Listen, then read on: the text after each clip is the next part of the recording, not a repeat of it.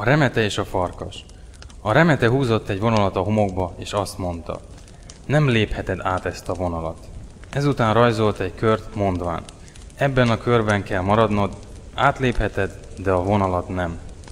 Ezután jött a vihar, és a vonal eltűnt. A farkas a körben állt.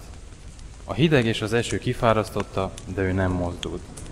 Nem tudta, hogy a vonal létezik-e még, amikor már nincs a homokba rajzolva.